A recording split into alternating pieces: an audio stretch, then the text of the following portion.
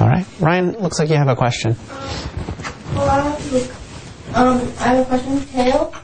Ta- If it was a x val- y value, wouldn't you do the opposite of the x? So wouldn't you divide, maybe? Yeah. yeah. I know you're the X Griffin. Griffin, do you want to respond to that? Yeah, well, well, I did it backwards and I said plus 3 instead of minus 3, and then divided by 3. So 0 pl- plus 3 is 3, divided by 3 is 1. So we're doing a lot of talking about this rule. What is the rule? Can we write a rule here? That might help us to understand what Griffin was just saying by working backwards. Maddie?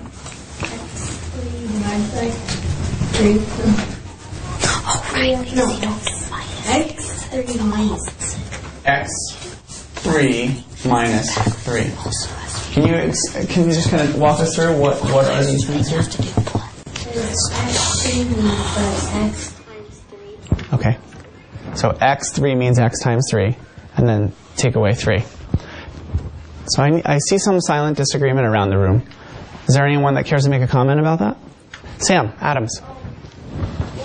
Maybe you could change that. I agree with x3 minus 3 equals y, but maybe you can add something to it. x3 minus 3 equals y.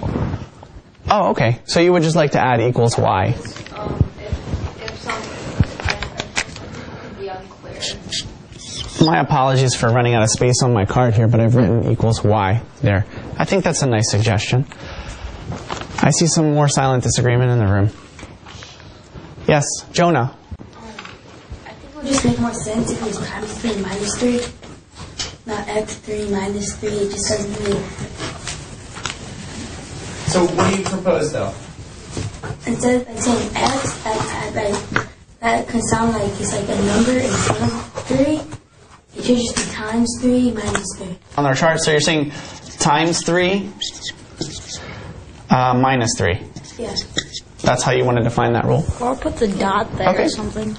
It. Morgan. And so x dot 3 minus 3. All right. David. Numbers mixed around. I think it's 3x minus 3. Okay. I'd write it 3x minus 3. Why is this more right than this? Or is it more right than that? Do Maddie and Teo disagree? Turn to your partner and have that conversation. I think look, it could be X not X groups of three or three groups of X.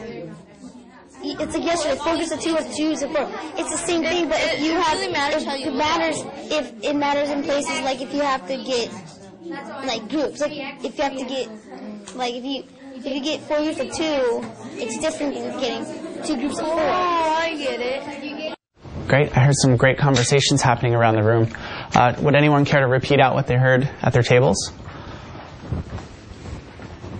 Caitlin. Well we thought that like the X should go after the three because that was in CPM.